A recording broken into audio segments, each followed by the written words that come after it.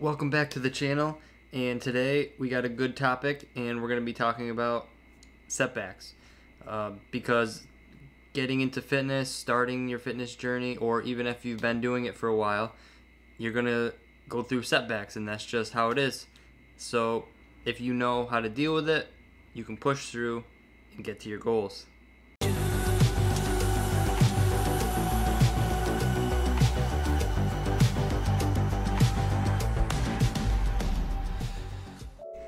So the first thing I want to bring up is when you go through a setback, the first thing you're going to want to just stop doing is your workouts. You're going to want to put, you know, your workouts to the side, your eating habits to the side, and that's the biggest one of the biggest mistakes that you can do because a lot of times you're actually going to feel better after your workout. I know in the beginning, like before your workout, you're gonna it's gonna be real hard. But what i recommend is even just sw- maybe switching your workouts up for a little bit maybe make it a little easier. Just go for a walk go for a run you know go to the gym just do a basic workout. Try not to really think about it.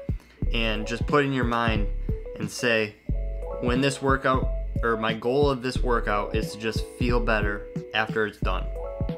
That's it you know maybe put a timer on half hour 45 minutes once that timer's up, get in there, get a good workout in, and move on.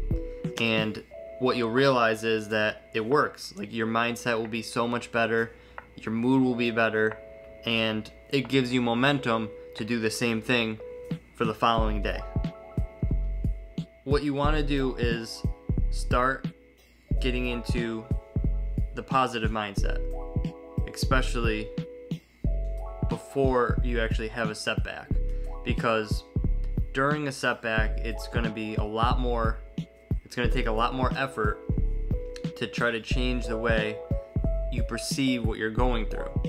So, if you start developing the positive mindset before it happens, it's going to be a lot easier or the the time frame that you are actually neg- negative or have the real negative feelings is going to be shorter because there's no way of getting just rid of it altogether. You're going to have to deal with it.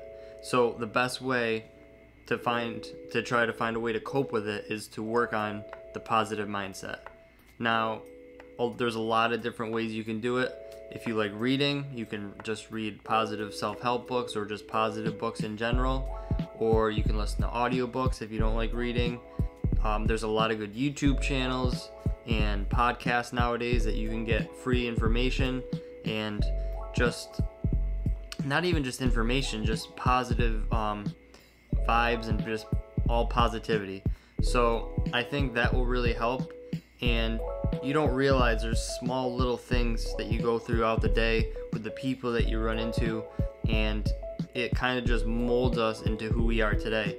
And if you start doing this and listening and just kind of reflecting and just critically thinking about everything and is it more positive or more negative?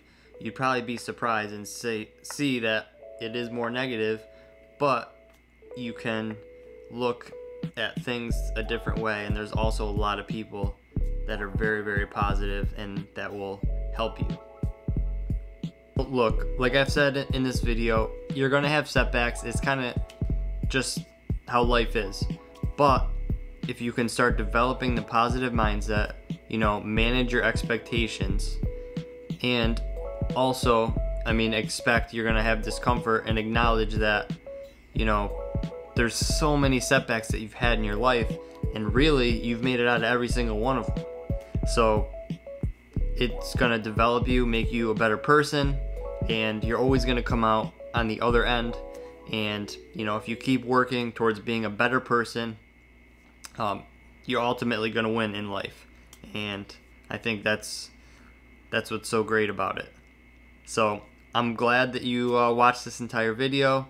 And if you want to help support me, please like the video and subscribe.